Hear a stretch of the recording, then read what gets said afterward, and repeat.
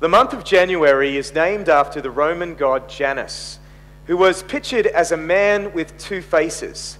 One face was looking backwards, and one face was looking forward. He was the god in Greek mythology of doors, of beginnings and endings. And January is a month of beginning and endings. In January, it's like the whole world just breathes this breath of fresh air. For a brief moment, people believe in January that their lives can be different. This year, I'm going to read my Bible more. This year, I'm going to pray more. This year, I'm going to decrease my waistline. I wonder, do you have a list of things, New Year's resolutions that you made in the month of January? You know, when I was in Dallas, um, every year, this, I saw the same thing happen in the gym that we would attend. Uh, I had a membership at a gym, and us, a group of us guys, we used to go uh, early mornings on Wednesday morning and Friday morning to play basketball in the gym. Well, usually my American friends, they played basketball. I just ran around a lot. But we used to go and we used to play basketball. And, um, and every January, the gym would be filled with people. Filled with people who are going to dream the impossible dream, scale the impossible height, uh, live the impossible thing, filled with people who this year were going to lose weight. But by February, that broad river of enthusiasm had then decreased to a little trickle, and then by March, it had completely dried up, and we had our gym back. You see, if January tells us anything, it tells us that life change is difficult. It's hard. Life change is not just sustainable on the feelings of newness that January bring. You know, true life change is not just a result of the calendar. It's not something superficial. If your life is truly going to change, it's going to have to be through a deeper process. And I think many of us know that. Because many of us now have become so hardened to January's temptations that even when we talk about life change, Many of you are sitting there and thinking, Timon, you can talk about life change, but life change is a bit of a myth. It's a little bit like the tooth fairy or the Easter bunny or Santa Claus. Some people might believe in it, but it's really a myth. True life change is something that I really rarely see. Well, in the passage that we just heard read out, Genesis chapter 32, we see that Jacob experienced true and lasting life change. Life change that was something that was deeper than just the feelings of January. And this is really the climax of his story as we come into Genesis chapter 32. If you've been joining us for the first time, we've been studying through the book of Genesis, and we've been studying through the life of Jacob in a series that we've called Wrestling with God. And we've seen so far that Jacob has been wrestling with control in Genesis 25 to Genesis 27 and 28. We saw last week that, that, uh, that Jacob was, was struggling or wrestling with um, issues of emptiness in Genesis uh, 29 and, and chapter 30. And in Genesis chapter 31, um, after dealing with Laban, um, Jacob, he, he goes on this journey in Genesis, in Genesis 32 and 33. He goes through a journey through, through Jabbok, uh, through Mahanaim, and through Jabbok, and through Peniel. And this journey that Jacob takes transforms his life. And unless you, my friend, go through a similar journey, unless you go through a journey through Mahanaim and Jabbok and Peniel, your life will never change. So let's have a look at this journey that Jacob went on. Look down in your Bibles in chapter 32 and verse 1. Just look at that verse, verse 1. We read this Jacob also went on his way, and the angels of God met him. When Jacob saw them, he said to them, This is the camp of God. So he named the place Mahanaim. Our daughter Ava, she turned 11 this past week. I can't believe how grown up my children are getting. Ava is almost as tall as me now. But when she was much younger, here's a picture of her when she was younger, when she was two years old. One of the things that Ava loved to do is she loved to go swimming. And she was just starting to talk, and as soon as she would see a pool, she would say these words. She would say, I go swim, I go swim. And on this one time after church, our family went to another family in the church uh, over their place for lunch, and they had a pool. And as soon as Ava saw the pool, she said, I go swim, I go swim. Now, of course, Ava was only two at the time. And so she couldn't really swim. And of course, she wasn't even tall enough to stand up in the shallow end of the pool. So she, she would just sit on the steps of the pool. This pool had these steps. And she would just stand on those steps. And of course, throughout the whole time that she was swimming, I was standing right there by Ava's side and, and just not letting her out of my sight. Now, as we were swimming, as Ava was swimming, just for one second, she stepped off the step and she started to sink beneath the waves. And I just saw that and grabbed her and pulled her back up on the step. And without any fuss, completely oblivious to the fact that she'd almost drowned, Ava went on swimming. I go swim. I go swim. And I thought to myself, I wonder if she even realizes that I'm here. I wonder if she's even conscious of my presence.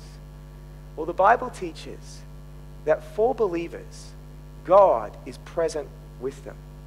And in some mysterious way that I can't actually explain to you, God and his angels are fighting for believers. And what Jacob has got here is God has given Jacob a revelation. The veil has been lifted. And Jacob is able to see that God and his angels are with him. You see, the word camp in Hebrew is the word Maniah. Here's, here's it in, in Hebrew Maniah. is the word.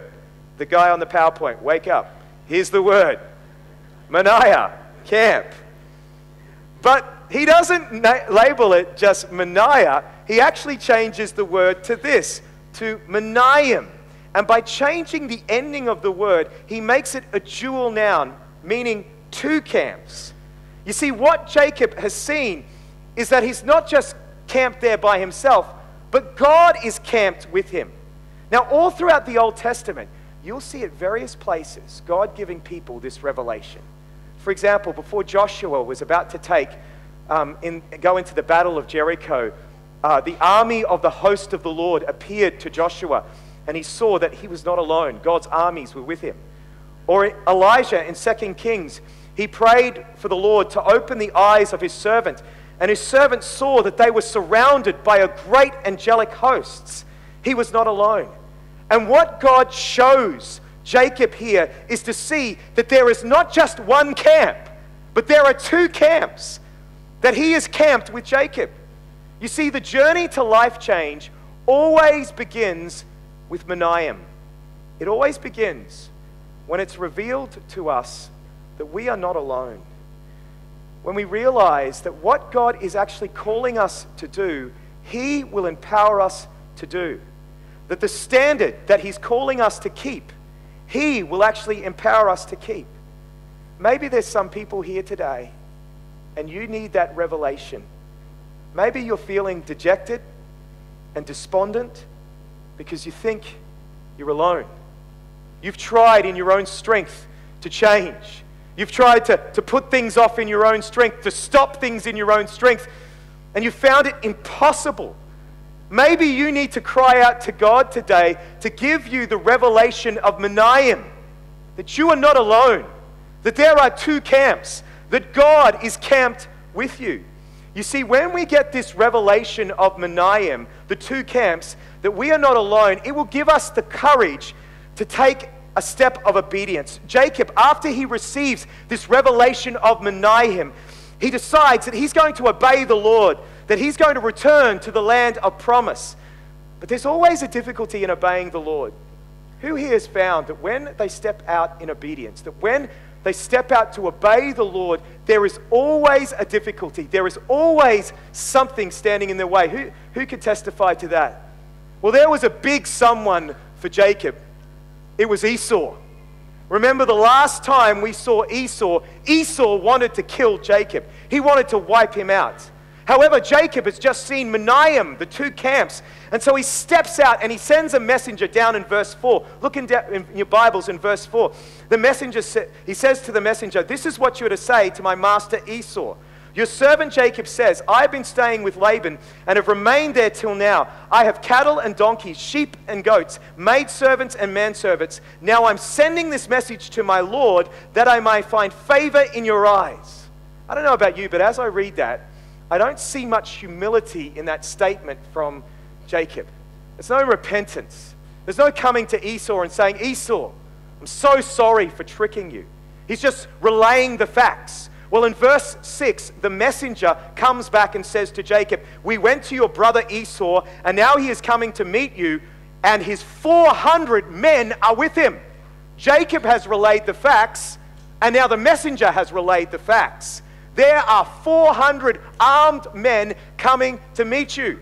But this shouldn't bother Jacob. I mean, he's seen Mahanaim, he's seen the two camps. 400 men are nothing in comparison to the armies of the Lord. But look at how he responds down in verse 7. We read this that he was filled with great fear and distress. And out of his fear and distress, he does three things. In verses 7 and 8, he divides his people into two groups so that if Esau wipes out one group, at least the, the other group will be left. Then in verses 9 to 12, he shoots a prayer to God to rescue them. And then, third, under the cover of darkness, which shows how desperate and afraid Jacob is, he hatches a plan. In verses 13 to 18, he divides some of his property, his livestock, and he instructs his servants to give it to Esau as a bribe. And then, look at this. He's going to send all of his livestock, all of his servants, all of his children, all of his wives to go in front of him, probably so that they can feel the wrath of Esau. What a wimp. He's sending all of his people in front of him so that they will be a shield before him. Now, why does he respond this way? Well, he responds this way because Jacob was a heel grabber. You remember that when Jacob was born, he was given the name Jacob. And the name Jacob means heel grabber. And he got this name because as he came out of the womb, he was grabbing the heel of his brother Esau. Now, the name Jacob or heel grabber was slang for someone who would use trickery and deception to get their way in life. You see, Jacob's, um, Jacob's motto was this God helps them that helps themselves. Have you heard that expression before? God helps them that helps themselves. And if you don't help yourself, who will help you? You need to get the blessing, and the only way to get the blessing is to help yourself, is to plot, is to plan, is to scheme. And all throughout the story, we have been seeing Jacob's heel grabbing ways. He wanted to get the blessing of the firstborn son, so he tricks his brother Esau out of the blessing. He wants to get, he wants to be blessed and have many livestock, and so he tricks his father-in-law Laban out of all of those livestock. And so here he comes to this situation where Esau is coming with 400 men and he's filled with distress and he's afraid and he hatches a plan again. And this is because he is a heel grabber, because deep down he still believes that God helps them that helps themselves. I wonder, can you relate to Jacob? I wonder if you're a heel grabber. I wonder if you, deep down, find it difficult to trust God.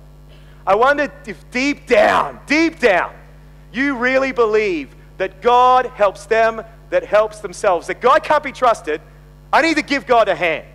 God can't be trusted to provide for my needs. I need to give him a hand. God can't be trusted to promote me in my work. I need to use scheming, political games. I need to use trickery. God can't be trusted with my identity. I need to actually prove to everyone how great and worthy I am. And so you use heel grabbing ways. God helps them that helps themselves. Unfortunately, many people end and finish their journey to life change in Mahanaim. Many people I've seen get a revelation that God is with them, that there is two camps, and they take a step of obedience. But because they deep down believe that all they have is themselves, God helps them that helps themselves, they end up in fear they end up afraid. They end up just doing all these sorts of heel grabbing ways. You see, if you are going to truly change, your life needs to go on to Jabbok. Look down in verse 22. We read this that night Jacob got up and took his two wives, his two maidservants, and his eleven sons, and he crossed the ford of Jabbok. After he'd sent them across the stream, he sent over all of his possessions. So Jacob was left alone, and a man wrestled with him till daybreak. Now, in Hebrew, this whole scene is just one big play on words. You see, the name Jacob in Hebrew is spelt like this Jacob. And the Hebrew word for wrestle is abok, and the Hebrew word for Jabbok is spelt like this. So Jacob got Abok in Jabbok. so Jabbok, it stands for the place of wrestling. In Jabbok, Jacob went into a wrestle, and his Abok in Jabbok would change his life forever. You see, there are a number of mysteries for us in Jabbok. The first is this is that Jacob is not just wrestling against any man, but he is wrestling against God. Look down in verse 30, 25. We read this. When Jacob saw that the man could not overpower him, he touched the socket of the, Jacob's hip so that his hip was wrenched as he wrestled with the man. This was probably the first indication to Jacob that he wasn't just wrestling against any man, but that he was wrestling against someone with divine power because the man could just touch his hip and cripple him. Another indication is found in verse 26. The man says, Look at it with me. He says to Jacob, Let me go, for it is uh, daybreak. This mysterious man with supernatural power did not want to allow Jacob to see his face, and Jacob gets the point. He says to the man, I will not let you go unless you bless me. Jacob has realized that this is not just any man. But this man is somehow connected to God. Now, we'll explore that in a few moments. But the point is, whoever this wrestler was, God was wrestling Jacob through him. So in Jabbok, God comes to us in the midst of our fear and our distress, and he wrestles against us. He struggles against us. But you might be thinking, wait, Timon, I thought the New Testament teaches that we do not wrestle against flesh and blood, but against principalities and powers and rulers of this dark age. And you're saying, Timon, that God comes and wrestles against us? Are you speaking heresy, Timon? Well, you see, many people have a view of reality that's like this that God is on one side and that Satan is on the other, and there is this spiritual conflict going on over the world. Now, there is a cosmic battle going on for the world, but I would put forward to you that this is not entirely correct. You see, Jesus said in Matthew 28, verse 18, He said, All authority on heaven and earth has been given to me. That's pretty encompassing, isn't it? All authority. Every bit of authority has been given to Jesus. So, a better understanding of reality is a bit like this is that God reigns over the world and Satan struggles against that reign, but Satan as well is under God's authority. He is under God's feet. But you still haven't explained, Timon, how God can wrestle against us. Well, to explain that, I need to define our terms. You see, our struggles come to us in the form of trials. And trials are struggles or hardships that come from living as part of a fallen world. The Bible says quite clearly that God is good and He's not the cause of any of our struggles or hardships. He is a good God. But what it says is that God is so sovereign that He can use our struggles and our hardships as the instrument in His hand to perform surgery on us. Uh, John Calvin put it this way He said, With God's left hand, He allows trials to come against us, but at the same time, with His right hand, He sustains us and empowers us to go through those trials. Now, if God is a God of love and He allows us to go through trials, what does that say about our trials? They must be an expression of His grace. This is a mind blowing thought, isn't it? Just think about the trial that you're going through right now. It's not actually, God is allowing that to happen, and it's not because He hates you, but it's because He loves you. You are in Jabbok. You are wrestling. And it's not because God hates you, but it is because God loves you. But the second mystery of Jabbok is even more mind blowing. God allows Jacob to prevail, He allows Jacob to win the wrestle. Just to make sure we all know what's going on here God, the eternal, the all powerful, all knowing God is wrestling against Jacob, the God who can just touch his hip and with his finger and it falls out of joint, the God who made heaven and earth is wrestling against Jacob. But this God allows Jacob to win. What a mystery. Why would the eternal God allow this to happen? Well, that leads us to our third mystery in Jabbok, and that is you overcome when you don't exalt yourself, but rather when you come to the end of yourself. Look down in verse 26, it reads this Jacob said, I will not let you go unless you bless me. Now, we could read that perhaps as an expression of Jacob's strength or as an expression of his tenacity. But rather than reading it that way, this is actually an expression of Jacob's desperation.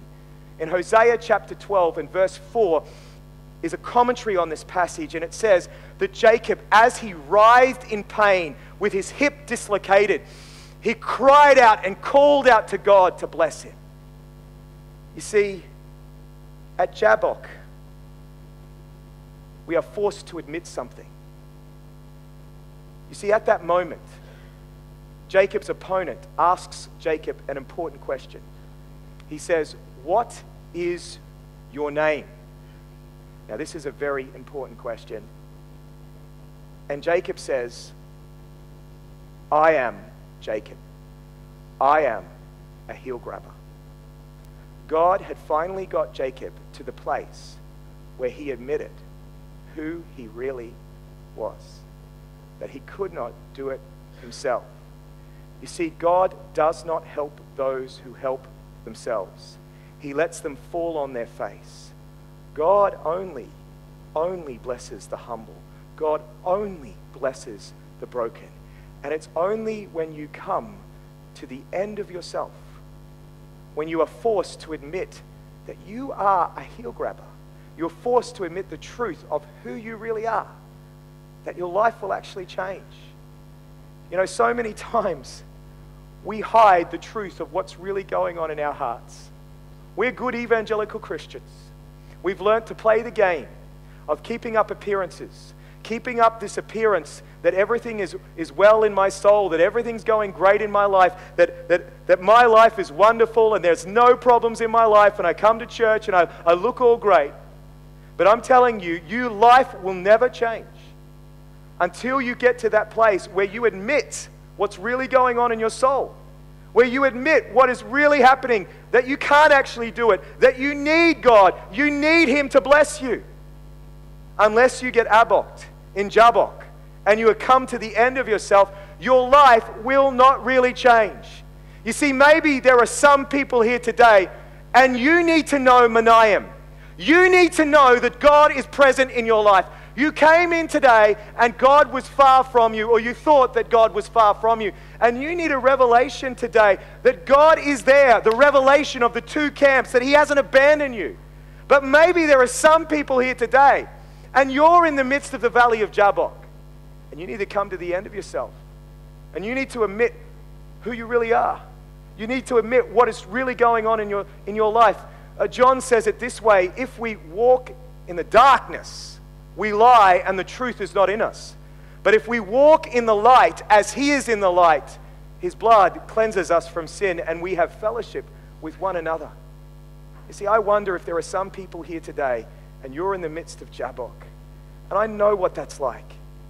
And you need to come to the end of yourself and admit, I am a heel grabber.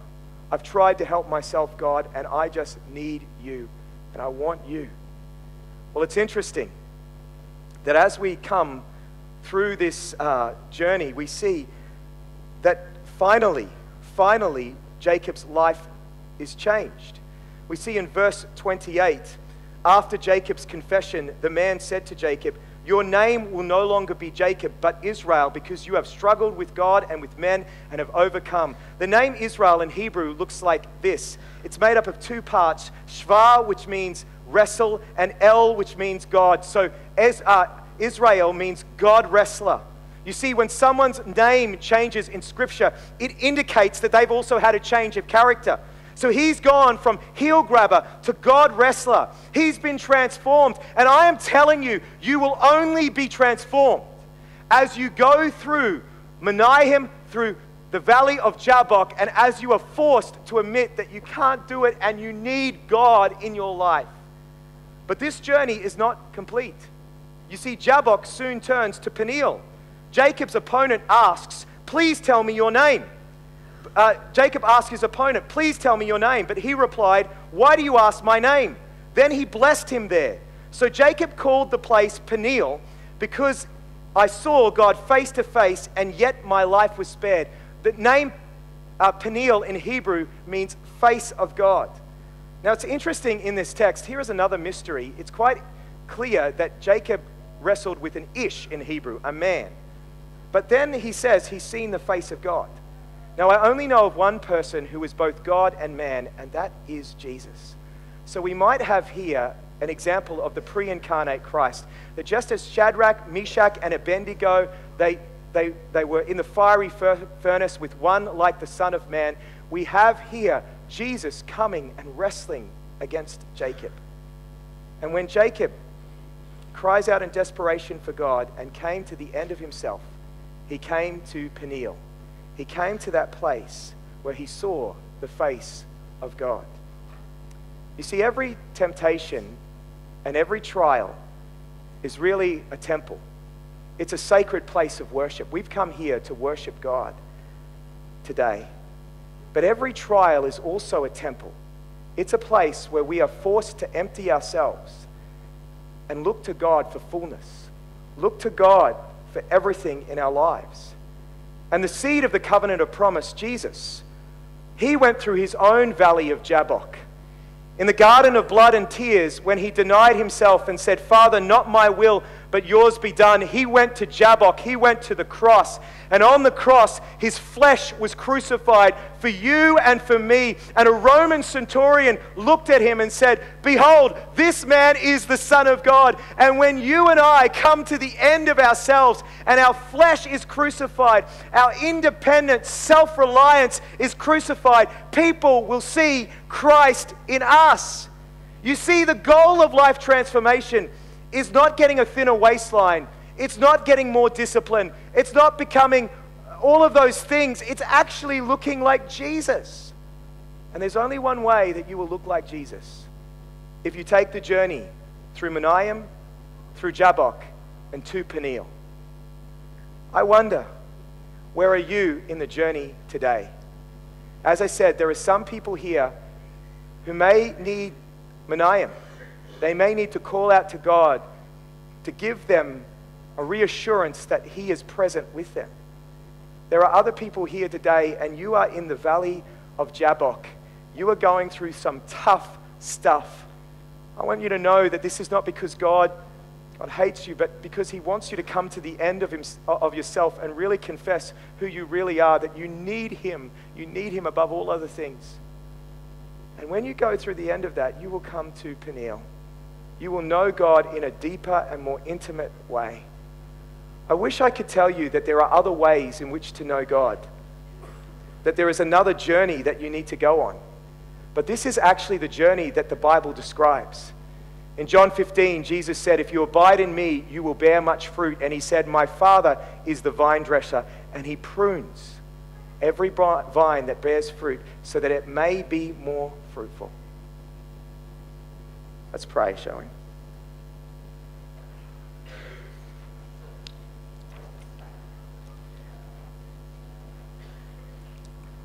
Oh, Father, as we come to the end of this service and I recognize that there are a lot of people in different places this morning. Some people have been wrestling, wrestling,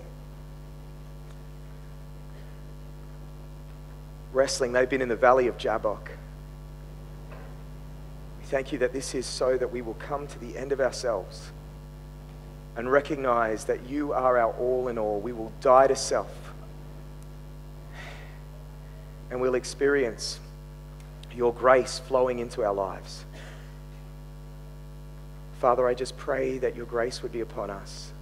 We want to know you more. Lord, we pray. Let's stand and let's